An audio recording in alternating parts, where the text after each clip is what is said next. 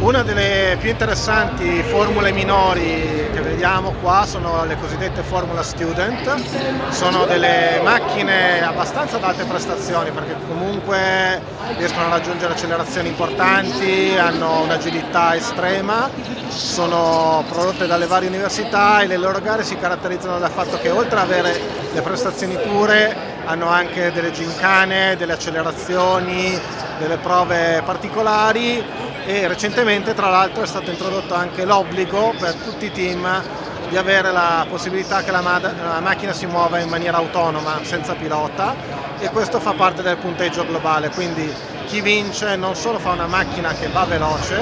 fa una macchina che è efficiente, ma fa anche una macchina che è in grado di muoversi da sola. Uh, vedendo le macchine alle mie spalle vediamo che tutte hanno quattro motori, uno per ruota, quindi c'è un completo controllo di torque vectoring, tutte le parti di agilità, di servo sterzo vengono fatte implementando anche dei software di controllo dei motori